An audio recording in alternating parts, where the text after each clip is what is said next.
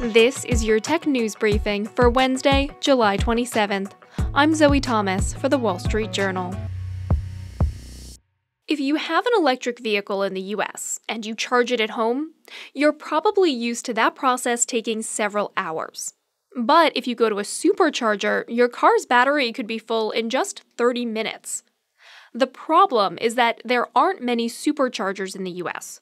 The company with the biggest network of these ultra fast chargers is Tesla, but the plugs only work on Tesla cars. That could be changing though. The federal government and a lot of states are making a big push to expand the charging network for EVs on US roads and highways. And now, regulatory filings have made it clear that Tesla wants some of that public funding, which will mean expanding access to its own chargers. Joining us to discuss this is our energy reporter, Jennifer Hiller. Hi, Jennifer. Thanks for being here. Thanks for having me. So, before we talk about Tesla's moves, can you start us off by explaining exactly what the US government is trying to do with EV chargers and why? Sure. In the infrastructure bill that was passed by Congress last fall, there's billions of dollars in funding for public EV chargers. So there's about 7.5 billion that is potentially on the table that can go towards helping build out a public charging infrastructure.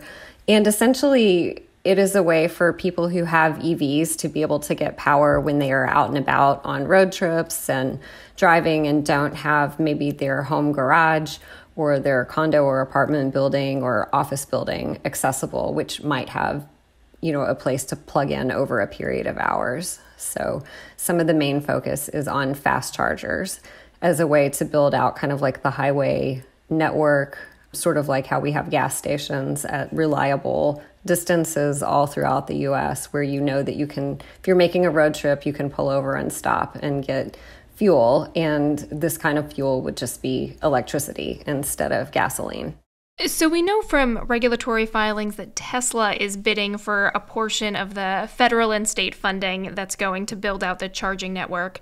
Do we know how it plans to use that money if it's granted it? We don't have tons of details. We can look in their grant filings and kind of get some hints of what these might look like.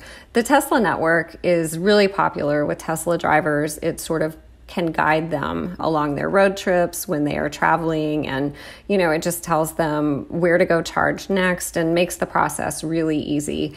And they have about 14 or 1500 sites across the country. And they tend to have several chargers for people to plug into at each site. So they have like nearly 15,000 chargers at this point. For Tesla users only they have sort of their proprietary connector. And so the issue across the country is that as the EV market grows and more people kind of make that switch to EVs, that you're going to need to have a lot more public charging out there. Why would Tesla want to make the switch to being a public charging network when it already has capability to provide charging for its own users? Right, that's a great question. I think there's just so much public money on the table right now that can help Tesla build out its network even more. And so, Tesla taking public money to add more charging stations and more chargers doesn't mean that it will just turn the switch and one day all the Tesla locations would be open to drivers of any kind of EV. But it would mean that those locations where they do take public money, um, they would have to allow access to other kinds of drivers. Has Tesla commented on its plans? No, they have been pretty quiet about how the details of this would work, but they have said for more than a year now that they intend to open the network in some way. So what we don't know is exactly what their time frame is and kind of what that would look like. How much of the network are they going to open? What about in terms of cost for users? Do we know how somebody with a different kind of EV might be charged for using a, a, Tesla charger in the future? Yeah, there's no reason to think that everybody would necessarily pay the same rate. Tesla could use discounts for its own drivers and maybe charge other users a higher rate.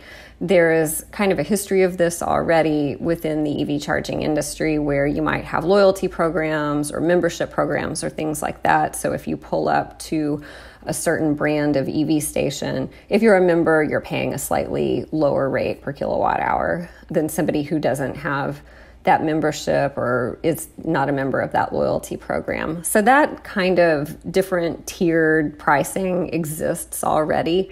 And there's nothing really to indicate that they would be prohibited from charging people different rates. I want to take a step back to talk about how we got into this situation in the US in the first place because you know, we don't have a system where if you go to a gas station for instance, it's a Toyota gas station or a Ford gas station, anybody can use it. So why is the situation with chargers kind of ended up as this piecemeal situation? It is kind of an odd thing, and I think it's just a sign of an early and young industry. Tesla really went out there with its own proprietary network because it had to go create a network. It did not exist anywhere else. So there was no real reason for them to like throw open the gates, so to speak, at that point. So, what do analysts and observers think might happen if Tesla does throw open the gates? I mean, do you think it'll change demand for other EVs?